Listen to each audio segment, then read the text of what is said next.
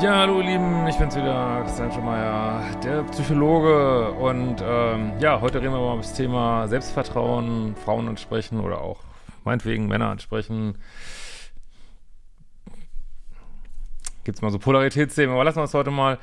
Ähm, genau, wenn du auch solche Fragen hast, wie das hier kommt, kannst du über ein Formular auf liebeschip.de stellen. Vielleicht sehen wir uns auf der Lesung in München heute Abend. Und äh, ich fange mal einfach mal an, äh, bevor ich jetzt zu dem Thema Selbstbewusstsein ansprechen komme, nochmal eine ganz kurze andere Mail. Frühstücken wir nochmal kurz ab. Hallo Christian, nach einer dreijährigen Dramabeziehung, kurz nach der Trennung. Chat auf WhatsApp, löschen ja oder nein? Ja, natürlich, weg damit. Was soll das? Ähm, kein Problem. Und ja, früher konnte man die Dinger ja archivieren, aber gibt es keinen Grund so. Ich habe früher auch mal einen oder anderen Chat archiviert, nie wieder reingeguckt. Ähm, stell deine, sei dankbar für die Beziehungen, die du mit deinen Exen hattest. Ne? Schöne Erinnerungen hast du immer in deinem Kopf, brauchst du keinen WhatsApp-Chat und muss man auch nicht ausdrucken und als Buch sich reinziehen. Das gibt's ja auch. Gut, aber jetzt kommen wir mal zur eigentlichen Mail heute. Ähm, Flashback im Plus- oder Minuspol oder einfach dumm gelaufen? Das ist die Frage. Der Struggle von jemand, der versucht, in die männliche Polarität zu finden. Hallo Christian, ich mache seit einiger Zeit deine Kurse, war schon auf der Frankfurter Lesung und habe mich in der Vergangenheit schon sowohl als Plus- als auch als Minuspol erlebt. Eigentlich bin ich, dachte ich, auf einem guten Weg in ein nice geiles Leben, bis ich vor ein paar Tagen ein scheinbar kleines, aber folgenschweres Ereignis erlebte. Ich war im Zug unterwegs und kurz bevor ich aussteigen musste, fragte eine sehr attraktive Dame lächelnd, ob der Platz neben mir frei ist. Ja, guck mal, was das Universum einem doch so zuspielt, ne? Wunderbar. Da muss man dann nur noch zugreifen, so, ne? Äh, und setzte sich dann neben mich. Ich habe überlegt, ob ich sie ansprechen soll. Ich wusste, wenn ich mal wieder nichts mache, ärgere ich mich nur über die verpasste Gelegenheit. Deswegen ist es so wichtig, das zu lernen. Deswegen macht den Datingkurs für Männer oder auch für Frauen meinetwegen äh, sind unterschiedliche Sachen drin. Oder macht die Selbstbehauptungs-Challenge so, das, es bringt einen so weiter. Oh, hier ist wieder der Zoo am Start, ey, Alter, ey. Ähm, weil, und dafür übt man auch für solche Gelegenheiten, dass man es dann einfach abspult. Also man übt es vorher, ansprechen zum Beispiel, damit oder aus Smalltalk, egal mit wem, mit der Omi an der Kasse hinter dir, Smalltalk, Smalltalk, Smalltalk, dass du es aus dem fucking FF einfach abspulst, ohne nachdenken irgendwie, ne? Für solche Situationen, ne? Äh, also habe ich dann doch kurz ein Gespräch angefangen. Ja, super, sie ist drauf eingestiegen und das Gespräch fing gut an, dauerte aber leider nur zwei bis drei Minuten, bis ich aussteigen musste. Jetzt im Nachhinein beschäftigt mich die Sache total krass. Interessanterweise viel mehr, als wenn ich einfach nichts gemacht hätte. Ja, also können, glaube ich, kann ich, also ich kann das dazu relaten. Ich glaube, viele andere auch, äh, und mich einfach nur ein bisschen geärgert hätte, warum ich mal wieder keinen Move gemacht habe. Hab kurz überlegt, noch weiter im Zug mitzufahren, damit wir länger reden können und vielleicht noch nach ihrer Nummer fragen zu können. Ja, aber das kannst du auch in zwei bis drei Minuten, ne? Äh, aber fand das dann eine komische Aktion und bin einfach ausgestiegen. Ja, das sind immer diese, deswegen macht man diese Shame Attack Übung in meiner Selbstbehauptungs-Challenge, um sich nicht mehr so viel zu schämen. Äh, was man, es passiert ja nur im eigenen Kopf. Du denkst, das ist peinlich, nach zwei bis drei Minuten nach einer Nummer zu fragen. Das ist das Alltag für viele attraktive Frauen, äh, überhaupt für viele Frauen. Und äh, nee, es ist nicht peinlich. Und wenn es peinlich ist, ja, da ist es eben, passiert nichts. Es ist peinlich, du steigst trotzdem aus, du siehst dich nie wieder. Das war's. Ja, kein Problem, ne?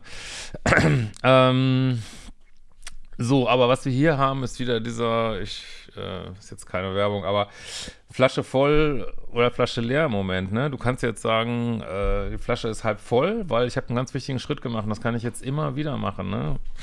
Ja, hier die Juli wieder. Hallo, willst auch mal ins Bild kommen? Ach nee, das geht jetzt gar nicht so. Naja. Aha, alles gut, Juli? Ja. Alles gut, unser kleines Sorgenkind hier. Ne? So, alles gut, alles gut, ja. Ähm, so, wo waren wir stehen geblieben? ähm, also, Flasche halb voll ist, äh, ja, geil. Äh, ich habe mich getraut irgendwie und das kann ich jetzt immer wieder machen, wenn ich im Zug sitze. Ne? Und das Universum wird mir bestimmt neue Gelegenheiten zuspielen. Ne? Flasche halb leer ist, äh, warum habe ich nicht mehr gemacht? Ne? Und also gerade wenn man so in so einem Modus ist von Veränderung, ist es total wichtig, dass man ähm, mehr auf das Positive fokussiert, also auf das, was man geschafft hat und nicht auf das, was man noch nicht geschafft hat. Sonst ist man total äh, frustriert. Überhaupt hadern, wie ich in meinem Glückskurs immer sage, ähm, ja, vergeudete Lebensenergie. Hast es halt nicht gemacht äh, und es bringt gar nichts da zu hadern, sondern nutzt diese Energie, ähm, ja, nächstes Mal einfach die, die, ganze Strecke zu gehen und die Frau nach ihrer Nummer zu fragen oder auch einfach deine, äh, was weiß ich, reißt da irgendwo äh, Blatt Papier raus aus irgendwas oder oder fragst einfach, Gerät, kann ich dir mal eine Nummer geben? Das kannst du mich ja anrufen. Ich fand es ein super Gespräch, ne? Fertig, ne? Ähm, weil das ist eigentlich nur noch ein ganz kleiner Schritt. Das Ansprechen ist eigentlich der größere. Und natürlich auch diese Glaubenssätze mal zu hinterfragen, äh, kann ich innerhalb von zwei bis drei Minuten nach einer Nummer fragen? Ja, natürlich kannst du das so. Aber du hast das meiste hast du eigentlich schon gemacht, deswegen gibt es eigentlich keinen Grund, sich zu ärgern, äh, man, das ist alles ein Prozess. Es geht eben nicht von 0 auf 100, sag ich mal. Ne? So, ähm, da, da, soweit so gut könnte man ja sagen, schließlich habe ich mich überhaupt getraut, was zu sagen. Sie hat echt offen reagiert und vielleicht passiert das ja mal wieder. Ja, natürlich wird das wieder passieren, ne? Das kannst du jetzt immer wieder machen. Das kannst du mit der Frau am Kinoschalter machen. Das kannst du, kannst das überall machen, ne? Ähm, nur hat mich das ziemlich aus der Bahn geworfen. Ich musste die Tage ständig dran denken, was ich hätte anders machen können. Ja, nach der Nummer fragen. Das du, in fünf Sekunden abhandeln, das Thema gedanklich. Ähm, so, ich fühle so eine Art Liebeskummer, Leid und Sehnsucht, obwohl ich sie eigentlich gar nicht richtig kennengelernt habe. Ja, das ist diese Pluspoligkeit noch, dieses, ach, das war jetzt die eine. Ähm, nee, da werden noch weitere kommen. Trotzdem, übt es vorher. Wirklich übt es meinetwegen mit Leuten, die euch nicht so wichtig sind. Ähm, macht den wirklich, ich kann euch wirklich nur ans Herz legen, macht den Selbstbehauptungskurs, da sind wirklich jeden Tag eine Shame-Attack-Übung drin und das, das hilft so viel, ne, so für diese Sachen, dass man sich da nicht so ärgern muss, ne, und äh, also, da, da lernt man halt, äh, ja, dass einem nicht mehr so viel peinlich ist, eigentlich fast gar nichts mehr. Und äh, das hat mich damals auch so weitergebracht, wirklich, so ein Kurs. Und ähm, ja, weil das, das, ich weiß, das tut weh, wenn man jemand schon so weit hatte und man hat einem gefallen, gefallen. Aber natürlich wird wieder jemand äh, kommen, aber nehmen wir es jetzt mal als Zeichen vom Universum. Okay, ich äh, mache jetzt mal den Datingkurs und ich, ich äh, lächel jetzt mal 100 Frauen an oder ich, ich führe jetzt mal 100 Smalltalk-Gespräche und was weiß ich. Also nimm es als Zeichen ähm, zu üben, dass du es das nächste Mal einfach abspulst. So, ne? Also man macht es, äh, wir, wird die jetzt nicht gewesen sein, aber macht es für die, die richtige, du übst quasi, dass du mit der richtigen wirklich es nicht verkackst. So, ne? Aber Liebeskummer Leid äh, ist wieder so auf dem Podest stellen und äh, also das war's jetzt und, und die, die hätte mich gerettet. Äh, nein, das ist wieder so ein Pluspol-Denken, ne? Gibt's auch keinen Grund für, ne? Äh, ich hatte schon ein Gefühl, dass sie interessiert war. Ja, wir wissen es letztlich nicht. Man weiß es erst, wenn man die Nummern ausgetauscht hat, ne? Äh, von daher, ja, du weißt es jetzt nicht und du wirst es auch nie wissen. ähm, nur habe ich in der kurzen Zeit einfach nicht mehr gebacken gekriegt. Ja, Flasche halb voll, alles gut. Ne? Flasche leer, Flasche voll, ne? wie Trapattoni damals sagte. Ne? Äh, und das fuckt mich richtig ab. Klingt vermutlich ziemlich crazy, was zwei Minuten bla bla und so mir auslösen können. Ja, ich verstehe das komplett, äh, ich, ich, kann das absolut nachvollziehen. Also kennt, glaube ich, jedermann diese Momente, ach, hätte ich, hätte ich jetzt mal, ach, wir waren schon im Gespräch, hätte ich mal noch einen Schritt weitergegangen. Und damit das nicht passiert, übt es, übt es vorher. So, aber es hat jedermann hat solche Momente, wo man denkt, scheiße, das, äh, da habe ich einen Ball verspielt irgendwie so, ne? Das, ähm, ja. Also vielleicht kennt ihr dieses äh, Video, ähm, da USA ist ja immer so, dass sie dann so diese Kusskamera haben äh, und da sieht man so einen Mann, Frau, Frau sieht zehnmal besser aus als der Typ und die Kusskamera geht drauf und äh, ja, der Typ hat so viel Glück, dass äh, die zehnmal attraktive Frau ihn anschaut, so, ja, du darfst mich jetzt küssen, die Kusskamera ist ja eh drauf und er macht es einfach nicht. Schaut dann auch drüber, drunter Ball verspielen, ne, fummelt. Äh, naja. Äh, so. Was will das Universum mir damit sagen? Gar nichts. Äh, doch, üb mehr. Üb mehr. Aber jetzt, wie gesagt, anzufangen mit Hadern, äh, das, ich meine, das fällt uns allen schwer. Ich hatte jetzt äh, vor der Lesung so ein witziges Ereignis hier in Berlin. Und zwar, äh, ich habe gerade so viel zu tun, hab, und alles ist total durchorganisiert bei mir gerade. Und so habe ich auf dem Weg zur Lesung habe ich noch ein Paket abgeholt mit so Getränkepulver, sagen wir mal, war da drin, so zwei Packungen, so, ne? Und ähm, ja, dann waren wir zu Stunden zu früh bei der Lesung, ja, auch uns passiert sowas. Und sind dann nochmal irgendwie essen gegangen und ich habe dieses Paket da liegen lassen vor der Bar, ne? Und dann, ja, kommen wir zurück, äh, Paket natürlich weg. Also wenn man jetzt eine wirklich erleuchtete Seele wird überhaupt nicht hadern damit. Man wird sagen, ja, okay, ist weg.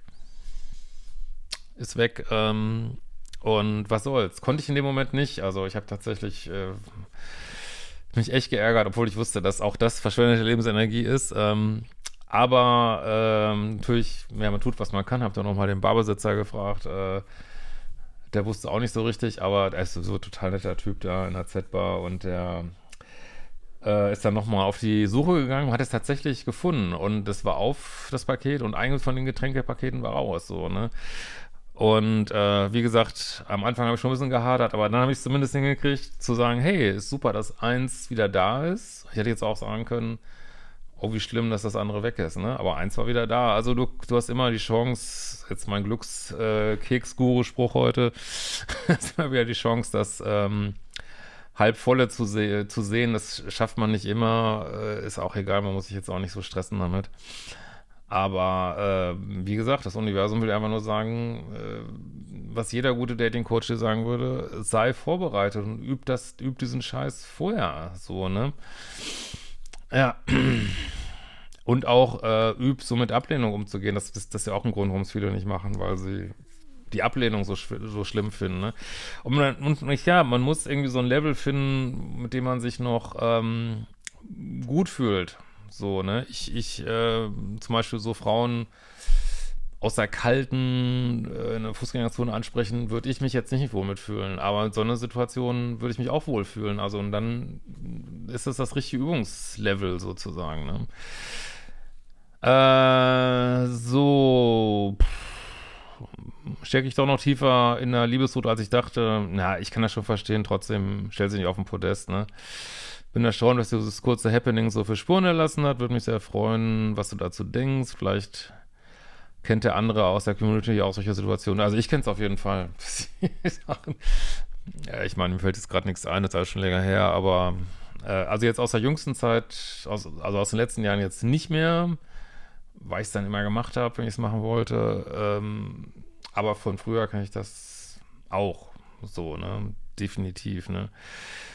Ähm, aber ich kann auch, ich glaube, ein Grund könnte auch sein, diese Angst vor Ablehnung, so, ähm, das kann ja manchmal auch äh, nicht so leicht sein, so, ne? Und das ist überhaupt der Clou, da so ein bisschen dickeres Feld zu kriegen. In diesem Sinne, wir müssen jetzt nach München. Schneit es in München schon? Schreibt es gerne in die Kommentare. Wir sehen uns mal wieder. Ciao, Lieben.